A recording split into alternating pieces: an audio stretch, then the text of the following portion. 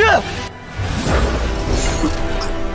老师，老师不能继续陪在你身旁了。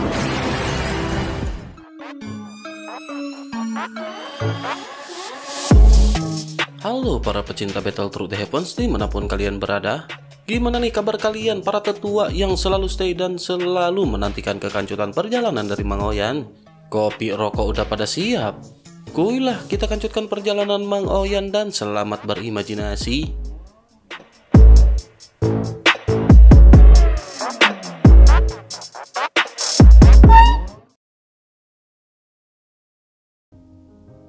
Cerita masih berkancut dengan Xiaoyan yang pada saat ini masih terus-menerus melakukan pelarian.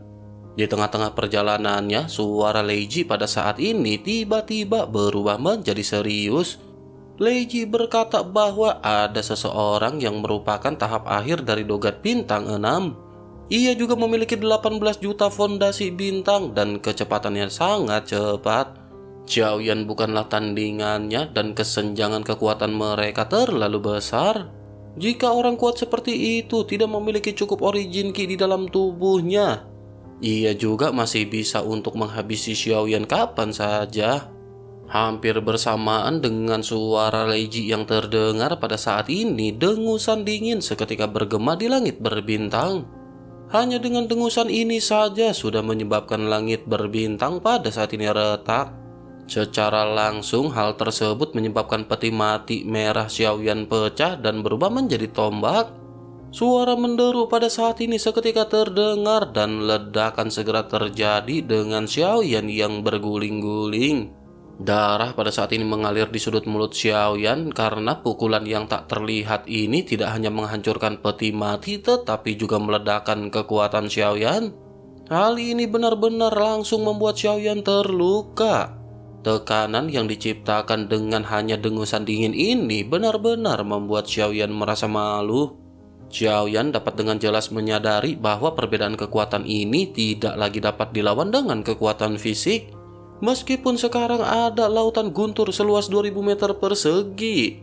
Meskipun kekuatan tersebut jauh lebih kuat daripada sebelumnya, tetapi hal ini tidak dapat mengimbangi perbedaan. Xiaoyan pada akhirnya bergumam bahwa orang ini benar-benar sangat kuat dan setidaknya lebih kuat daripada Dong Chang dan Wang Chang. Kekuatannya juga sepertinya melampaui semua utusan yang pernah ditemui oleh Xiaoyan. Sejauh ini ini adalah yang paling jauh. Sejauh ini ini adalah yang paling kuat yang pernah ditemui oleh Xiaoyan sejak diburu. Leiji juga pada saat ini terus berbicara kepada Xiaoyan Leiji menjelaskan bahwa Dong Chang dan Wang Chang keduanya adalah dogat bintang 6. Tetapi origin ki mereka tidak sebaik orang ini dan orang ini benar-benar sangat kuat. Meskipun ia adalah dogat bintang 6 tahap akhir, tetapi energi dari origin ki-nya seharusnya bisa melebihi total 20 juta. Xiaoyan pun menganggukkan kelapanya dan pada saat ini juga bergumam jika Xiaoyan masih bisa mengendalikan formasi. Xiaoyan mungkin bisa menggunakan kekuatan penindasan formasi untuk mengalahkannya. Oleh karena itu, pada saat ini Xiaoyan benar-benar bukanlah tandingan dari orang tersebut. Xiaoyan pada akhirnya segera melonjakkan semua origin ki di dalam tubuhnya dan Xiaoyan melesat mundur dengan ganas. Tubuh Xiaoyan melesat ke belakang dengan sangat cepat, tetapi bersamaan dengan hal tersebut, Suara dingin pada saat ini bergema di langit ketika berkata bahwa sangat tidak mungkin baginya untuk membiarkan Xiao Fang pergi hari ini. Setelah suara tersebut terdengar pada saat ini, langit berbintang di sekitarnya seketika terdistorsi. Origin Ki orang ini seolah-olah terasa penuhnya menutupi tempat tersebut. Langit berbintang juga tiba-tiba berubah menjadi wajah pria dengan ukuran ratusan meter. Sosoknya juga pada saat ini segera terbang melesat menuju ke arah Xiaoyan dengan kecepatan tinggi. Sebuah suara pada saat ini kembali mengguncang langit berbintang ketika sosok tersebut berkata kepada Xiaoyan. Sosok tersebut berkata bahwa menghabisi seorang dogat bintang tiga akan memungkinkan keluarga Zhou miliknya mendapatkan planet untuk tempat tinggal. Meskipun ia yang bernama Zhou Tian tidak ingin didominasi oleh aliansi hukuman dewa, tetapi demi rakyatnya, ia pada saat ini hanya bisa mengambil tindakan untuk melawan Xiao Feng. Setelah selesai berbicara, sosoknya pada saat ini segera mengeluarkan kata hancurkan. Sesaat kemudian, pikiran Xiaoyan terguncang dan tekanan yang tak tertahankan melanda dirinya. Lei Ji yang selalu relatif tenang pada saat ini juga mengerutkan kening dan mulai berbicara dengan tergesa-gesa. Lei Ji berkata bahwa Xiaoyan pada saat ini harus bergegas karena Xiaoyan bukan tandingannya. Jika Xiaoyan tidak bergerak, maka Xiaoyan benar-benar akan dipastikan segera mokat. Xiaoyan pada saat ini benar-benar menggertakkan gigi di bawah tekanan yang sangat kuat. Namun meskipun begitu, mata Xiaoyan pada saat ini masih berbinar dan Xiaoyan segera menoleh ke arah Leiji dan mulai berbicara. Xiaoyan berkata agar mereka pada saat ini menunggu sejenak. Xiaoyan masih ingin melihat apakah perbedaan antara latar belakang benar-benar tidak dapat ditembus. Bahkan meskipun jika tidak dapat dijembatani, Xiaoyan ingin tahu seberapa besarkah kesenjangannya. Leiji pada saat ini hanya bisa terdiam dan tidak menghalangi Xiaoyan. Leiji menyadari bahwa Xiaoyan adalah orang yang membuat keputusan di dalam hal ini. Pada akhirnya Xiaoyan pun dengan penuh tekad segera melonjakkan semua lautan bintang di dalam tubuhnya. Xiaoyan seketika berbalik menatap ke arah sosok wajah yang terbentuk di lautan bintang.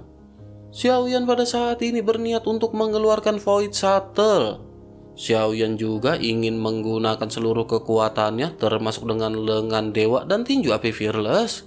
Lautan guntur yang seluas 2000 meter persegi juga pada saat ini akan dimanfaatkan oleh Xiaoyan.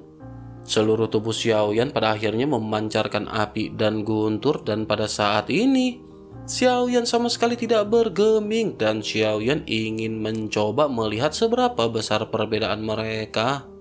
Pada akhirnya semua serangan pamungkas Xiaoyan ini segera dilesatkan tanpa adanya penundaan.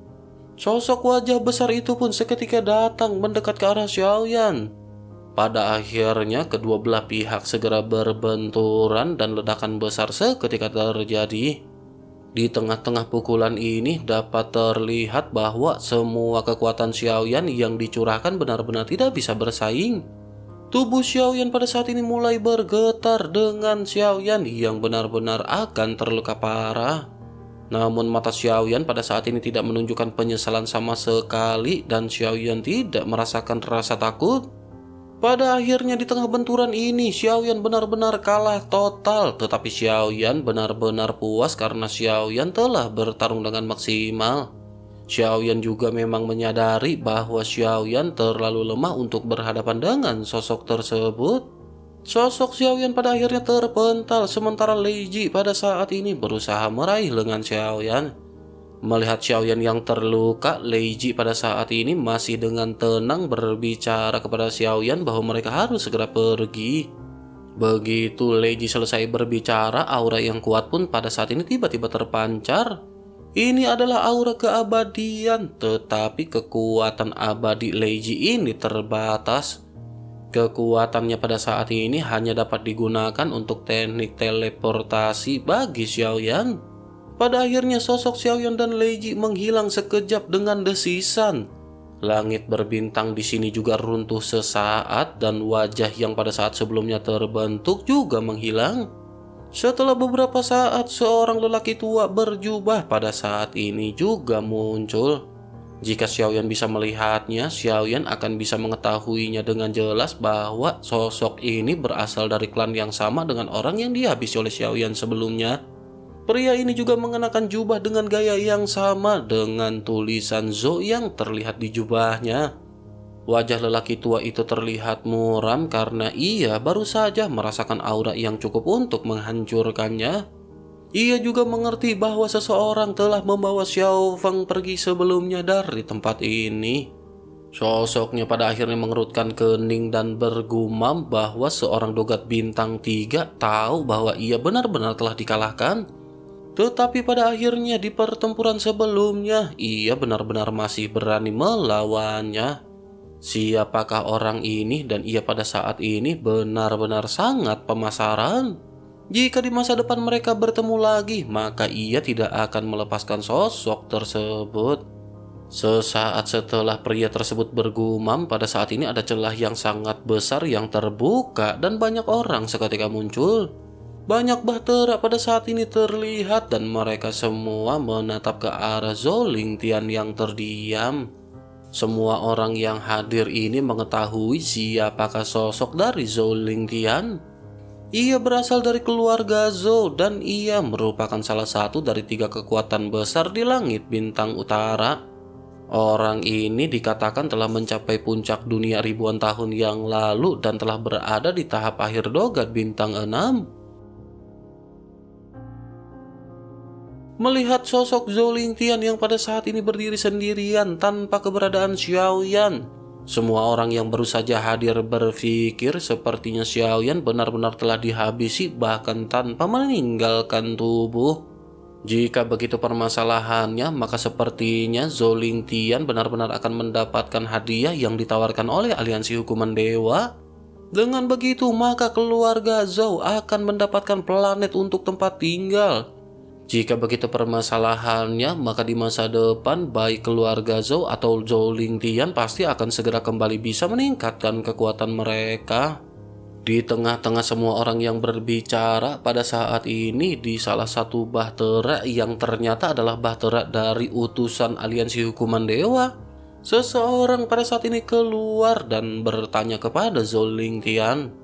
Sosoknya bertanya kepada Zoling Tian apakah hasil dari pertempuran ini. Sosok yang baru saja keluar ini adalah pengganti Wang Chang yang telah dihabisi oleh Xiaoyan. Orang yang baru saja berbicara juga merupakan salah satu utusan yang hadir di bintang badai. Kekuatan sosok ini berada di tahap menengah dogat bintang 6. Namun meskipun kekuatannya tidak sebaik Zoling Tian tetapi ia adalah seorang utusan. Dengan begitu, maka auranya juga lebih kuat satu tingkat jika dibandingkan dengan Zhou Tian. Tetapi bagaimanapun juga Zhou Tian berada di tahap akhir dari dogat bintang 6. Oleh karena itu tidak ada kesombongan dari kata-kata sosok yang baru saja berbicara. Meskipun identitas keduanya berbeda dan meskipun sumber daya di tempat hukuman dewa ini buruk, di mana pun berada di dunia apa pun yang kuat akan selalu dihormati. Ini adalah sebuah kebenaran yang tidak bisa diubah dan jika seseorang ingin berdiri tegak dan omongannya bisa dipegang, seseorang benar-benar harus memiliki kekuatan yang cukup dibuktikan kepada banyak orang. Zoling Tian pada saat ini melirik ke arah utusan yang baru saja berbicara dan mulai menjelaskan dengan acuh tak acuh. Sosoknya berbicara bahwa Xiao Feng ini telah melarikan diri. Begitu perkataan ini terdengar, berita tersebut langsung menimbulkan keributan di antara orang-orang di sekitar. Hampir semua orang menunjukkan ekspresi terkejut karena bahkan Zhou Lingtian yang merupakan orang terkuat yang mengejar Xiao Yan tidak berhasil menghabisinya. Sementara itu Zhou Lingtian pada saat ini tidak ingin banyak berbicara dan sosoknya menjentikan lengan bajunya. Adegan pertempuran sebelumnya seketika muncul di hadapan semua orang. Di dalam gambaran tersebut menampilkan Xiaoyan yang dikejar Zhou Tian tetapi tidak menampilkan Lei Ji. Setelah selesai, Zhou Tian pada saat ini berbalik dan pergi tanpa mengucapkan sepatah kata pun. Ia hanya perlu memberikan penjelasan kepada utusan aliansi hukuman dewa. Karena penjelasannya sudah selesai, oleh karena itu ia tidak ingin tinggal lebih lama lagi. Sementara itu, semua orang yang melihat ilusi sebelumnya benar-benar sangat terjekut. Para utusan dari sembilan bahtera yang hadir juga benar-benar tampak terjekut.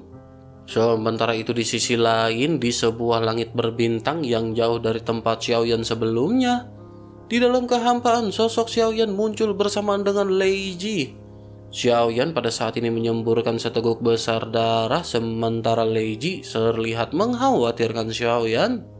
Lei Ji pada akhirnya segera berkata apakah semua ini sepadan. Xiaoyan tahu bahwa Xiaoyan tidak bisa melawannya tetapi Xiaoyan tetap nekat mengambil tindakan. Apakah Xiaoyan pada saat ini terluka parah akibat dari serangan pria tua tersebut? Xiaoyan pun menyeka darah di sudut mulutnya dan berkata tentu saja ia terluka. Namun meskipun begitu, kematian bukanlah alasan untuk Xiaoyan bisa takut.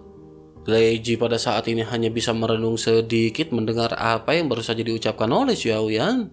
Setelah beberapa saat, Leiji berkata bahwa kekuatan abadi Leiji telah habis. Tidak ada cara untuk mengisinya kembali pada saat ini. Oleh karena itu, kekuatan abadi yang tersisa hanya dapat membantu Xiaoyan berteleportasi sekali lagi. Xiaoyan pun menghela nafas dan menganggukkan kelapanya sebelum akhirnya Xiaoyan segera mengeluarkan ramuan penyembuhan. Xiaoyan menelan ramuan tersebut dan cahaya dingin di mata Xiaoyan pada saat ini memancarkan sedikit kegilaan. Xiaoyan pada akhirnya bergumam karena kesabaran ada batasnya. Karena mereka telah berubah menjadi gila, maka Xiaoyan akan lebih gila daripada mereka. Setelah beberapa hari kemudian, Xiaoyan pada saat ini telah bepergian dan tiba di planet paling dekat dengan Xiaoyan. Banyak raungan dari binatang buas pada saat ini yang mengejutkan. Xiaoyan pada saat ini membuka segel pada binatang buas yang berada di planet ini satu persatu. Begitu mereka melepaskan diri, suara gemuruh seketika datang dalam inti bumi. Jauh di dalam inti planet ini, sepasang mata merah tiba-tiba terbuka karena ia sepertinya merasakan bahwa segelnya telah melonggar. Raungan pada akhirnya segera datang dari penjahat yang disegel di planet ini. Semua segel miliknya pada saat ini runtuh sama seperti apa yang terjadi di bintang malaikat. Xiaoyan mencabut semua segel dari penjahat ini dan memberikan penjahat ini kesempatan untuk membebaskan diri. Xiaoyan juga tidak berhenti dan Xiaoyan segera datang ke planet lain. Hal yang sama juga pada saat ini terjadi dan Xiaoyan juga melakukan hal yang sama lagi. Waktu berlalu dan tiga bulan pada saat ini telah melintas dalam sekejap mata. Dalam tiga bulan ini, lebih dari 10 planet telah mengalami perubahan drastis. Hal ini menyebabkan semua anggota dari aliansi hukuman dewa bergerak untuk berperang melawan orang-orang jahat yang dilepaskan. Sambil melakukan pengejaran terhadap Xiaoyan, mereka juga harus menghadapi penjahat yang melarikan diri ini. Jika situasi ini terus berlanjut, tidak akan lama lagi para penjahat yang semula tersegel ini akan meletus di langit berbintang utara dengan kekuatan dahsyat. Jika hal ini terus-menerus berlanjut, maka mereka benar-benar akan menumbangkan segalanya. Ini adalah kegilaan Xiaoyan dan ini juga merupakan hadiah atas pembalasan dendam kepada aliansi hukuman dewa. Tahanan spiritual yang pada saat ini mengikuti Xiaoyan juga menjadi semakin bersemangat. Ia melihat kegilaan di mata Xiaoyan seolah-olah ia melihat sesosok dari masa lalu. Setelah selesai melakukan semua ini, sosok Xiaoyan pada akhirnya segera sampai di sebuah planet. Xiaoyan masih menggunakan peti mati yang pada saat ini seketika kembali berubah menjadi tombak. Peti mati ini tidak rusak meskipun pada saat sebelumnya telah dihancurkan oleh Zhou Tian. Xiaoyan juga terkejut dengan kemampuan peti mati yang dapat berubah menjadi tombak ini.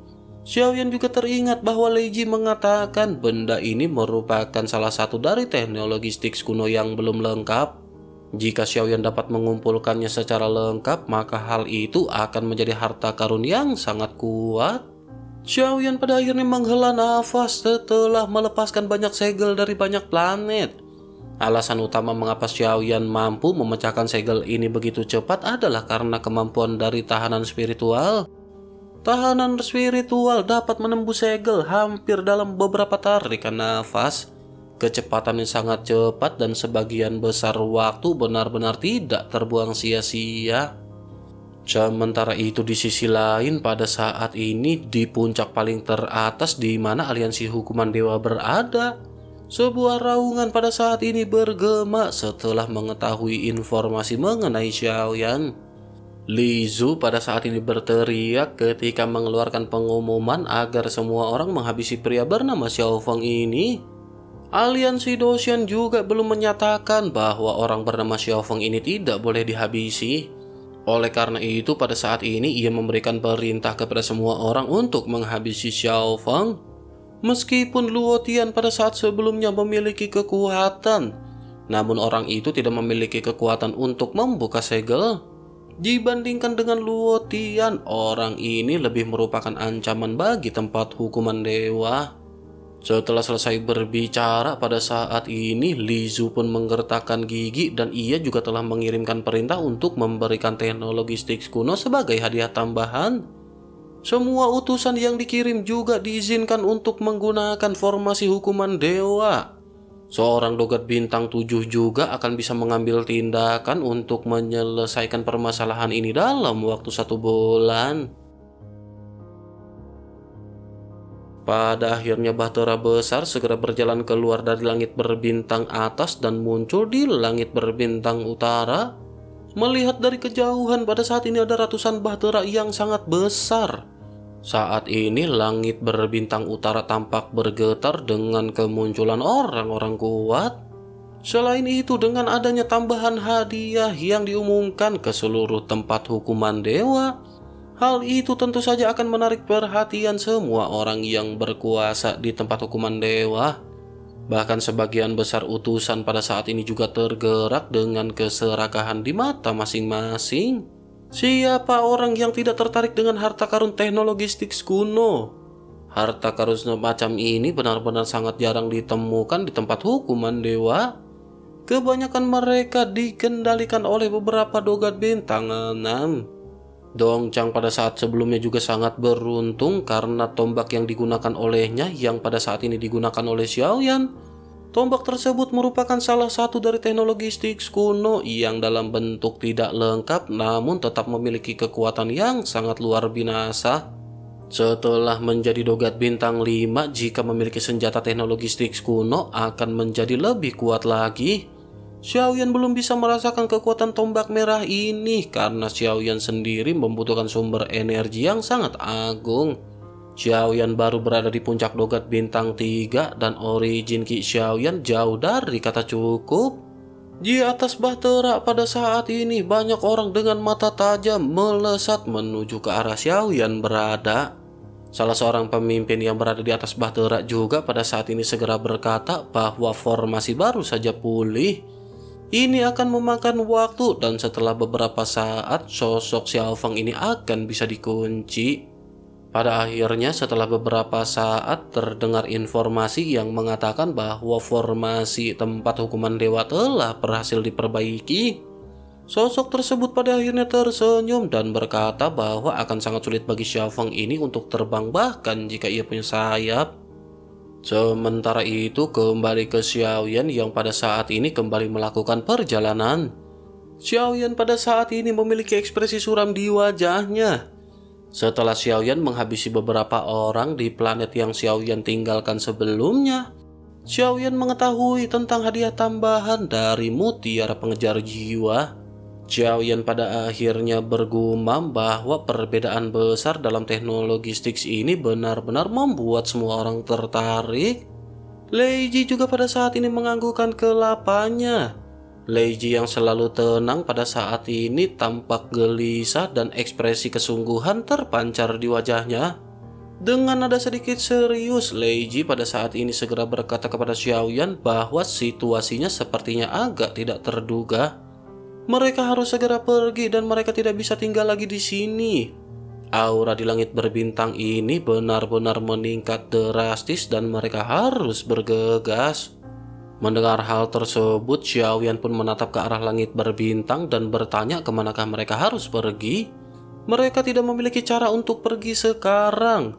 Atau mungkin mereka harus langsung pergi ke tempat aliansi hukuman dewa? Mereka hanya bisa melarikan diri dengan menuju ke pusaran tempat masuk dan keluar dari tempat ini. Leiji pun menggelengkan kelapanya dan berkata bahwa tempat itu terlalu jauh.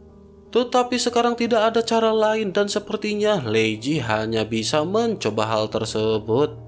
Leiji pada akhirnya akan membantu Xiaoyan dengan mengorbankan seluruh kekuatan keabadiannya untuk berteleportasi Mungkin Lazy akan bisa membantu mendekati langit berbintang teratas, tetapi ia tidak bisa membantu Xiaoyan bertempur. Setelah selesai berbicara, ekspresi Leiji pada saat ini tiba-tiba mengalami perubahan. Xiaoyan juga merasakan sesuatu dalam sekejap di mana krisis hidup dan mati terasa sangat intens. Perasaan ini belum pernah terjadi sebelumnya dan Xiaoyan pada saat ini seketika melihat langit di sekitar terdistorsi. Banyak bayangan bahtera besar berangsur-angsur muncul di hadapan pandangan Xiaoyan. Xiaoyan benar-benar terkepung pada saat ini dan kekuatan penindasan yang kuat seketika turun dari langit.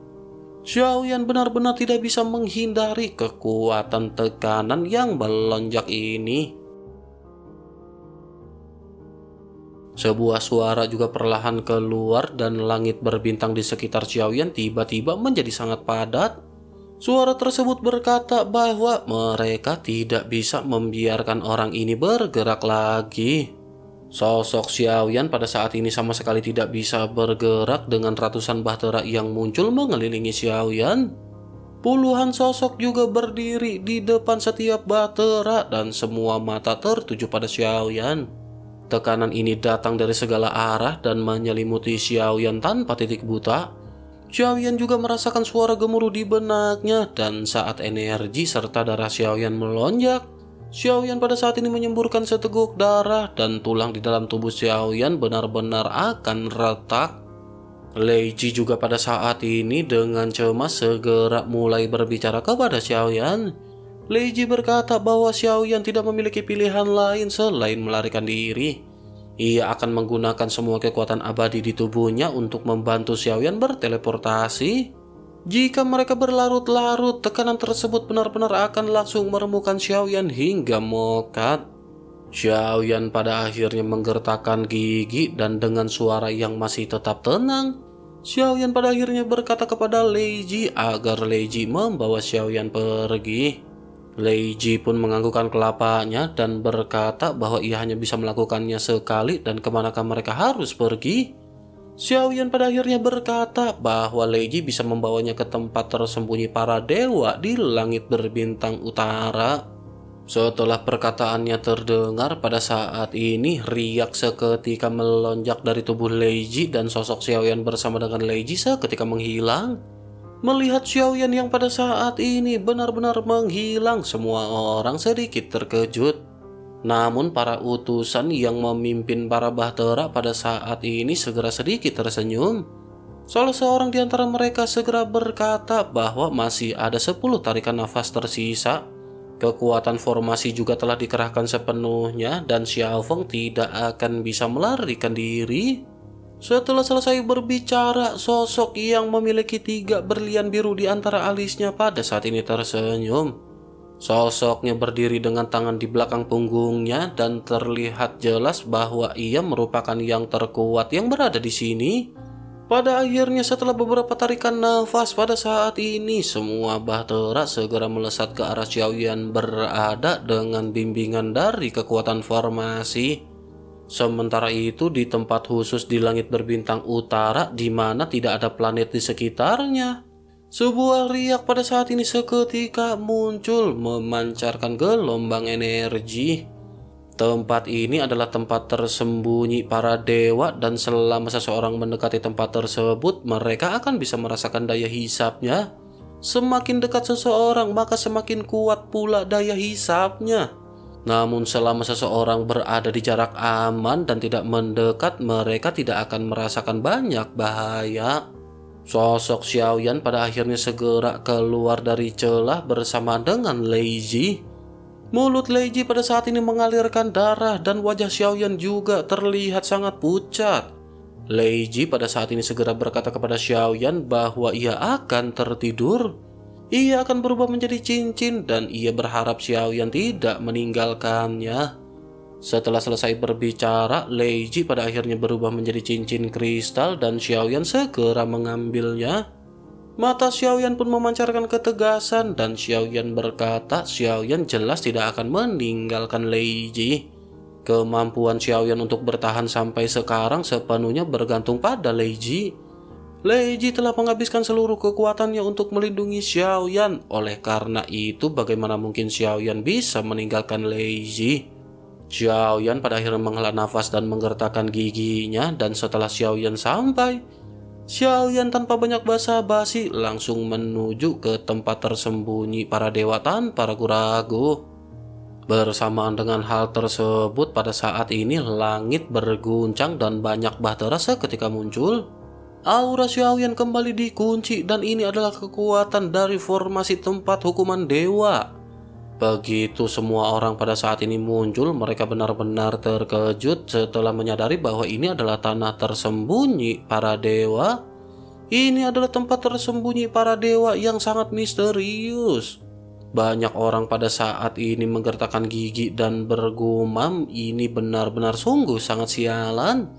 Sosok Xiao Feng ini benar-benar pindah ke tempat ini dan apa yang akan ia rencanakan. Sosoknya mengetahui bahwa ia akan mokat di tengah pengejaran, oleh karena itu ia memutuskan masuk ke tempat tersembunyi para dewa. Mungkinkah ia berpikir ia akan menemukan kesempatan untuk bertahan hidup di dalamnya? Sementara itu di sisi lain, Xiaoyan pada saat ini masih terjun ke bawah sebelum akhirnya sosok Xiaoyan berbalik. Xiaoyan menatap ke arah banyak bahtera yang muncul dengan menyimpan dendam di dalam hatinya. Xiaoyan juga pada saat sebelumnya telah menerima kabar tak terduga saat membebaskan beberapa penjahat. Xiaoyan mendapat sebuah informasi di mana salah satu penjahat berulang berasal dari aliansi Dosian. Sosok tersebut juga memiliki petunjuk tentang tanah hukuman dewa ini dan aliansi Dosian yang menyembunyikan beberapa rahasia. Itulah salah satu alasan mengapa Xiaoyan pada akhirnya memutuskan untuk pergi ke tempat tersembunyi para dewa. Xiaoyan pada akhirnya segera berteriak kepada semua orang yang berada di atas bahtera. Xiaoyan berkata agar mereka jangan khawatir karena Xiao Feng tidak akan mokat. Setelah Xiaoyan keluar nanti, maka semuanya akan berbalik dengan mereka semua yang akan mokat. Setelah selesai berbicara, sosok Xiaoyan pada akhirnya tanpa banyak basa-basi segera masuk dan tenggelam. Sosok Xiaoyan pun menghilang dari pandangan semua orang yang pada saat ini berada di atas bahtera. Salah seorang di antara para pemimpin utusan pada akhirnya membuka mulutnya Sosoknya berkata, apakah mereka pada saat ini akan memasuki tempat suci ini? Bahkan seorang dogat bintang delapan mungkin tidak akan bisa bertahan jika mereka memutuskan untuk masuk. Semua orang pada saat ini hanya bisa menganggukkan kelapanya melihat Xiaoyan yang pada akhirnya menghilang di hadapan semua orang. Namun dengan menghilangnya Xiaoyan, orang-orang ini tidak pergi. Mereka harus memastikan bahwa Xiaoyan benar-benar telah memasuki tempat tersembunyi para dewa. Akhirnya seiring dengan berjalannya waktu pada saat ini semua orang menghela nafas. Sosok pria yang memiliki tiga titik biru di antara alisnya juga pada saat ini mengepalkan tangannya. Salah seorang di antara mereka pada akhirnya segera berkata kepada sosok yang disebut Tuan Jiran. Pria tersebut berkata bahwa orang ini telah melangkah ke tempat tersembunyi para dewa. Ia pasti akan mati. Terlebih lagi formasi hukuman dewa di sini juga tidak dapat mengunci auranya. Dengan begitu, maka perintah yang diberikan kepadanya pada saat ini tidak lagi efektif. Tidak ada kemungkinan baginya untuk bisa keluar hidup-hidup di masa depan. Sosok yang bernama Jiran pun mengangguk sebelum akhirnya berkata jika begitu permasalahannya, hadiah yang ditawarkan juga tidak ada orang yang bisa mendapatkannya. Namun meskipun begitu pada akhirnya permasalahan ini benar-benar telah diselesaikan. Dengan hal ini maka mereka dapat dianggap bisa memberikan jawaban kepada Tuan Lizu. Pada akhirnya seiring dengan berjalannya waktu satu persatu bahtera mulai meninggalkan tempat di mana Xiaoyan menghilang. Beberapa hari kemudian berita bahwa Xiaoyan memasuki tempat tersembunyi para dewa menyebar di tempat hukuman para dewa. Setelah banyak orang yang mengejar Xiaoyan mengetahui informasi tersebut, pengejaran yang memicu seluruh tempat hukuman dewa gempar pada akhirnya telah mencapai akhir dan puncaknya. Setelah semua orang mengetahui berita tersebut, hati mereka pada saat ini benar-benar menjadi cukup rumit. Banyak di antara mereka yang telah menempuh perjalanan jauh untuk berburu Xiaoyan. Namun setelah menerima kabar ini, mereka semua hanya bisa pergi dengan tangan kosong. Namun meskipun begitu, nama Xiao Feng ini tampaknya telah menjadi legenda di hati semua orang. Apa yang sebelumnya dilakukan oleh Xiao Feng ini benar-benar belum pernah terjadi di tempat hukuman para dewa. Selain itu, yang mengejutkan semua orang pada saat ini adalah pengumuman yang dikeluarkan oleh aliansi hukuman dewa. Seolah-olah tidak ingin melepaskan Xiaoyan, pada saat ini mereka mengeluarkan keputusan yang sangat gokil. Mereka pada saat ini mengeluarkan hadiah yang belum pernah dikeluarkan selama jutaan tahun sebelumnya. Mereka menawarkan kebebasan bagi siapa pun yang berani masuk tempat tersembunyi hukuman para dewa dan membunuh Xiaoyan.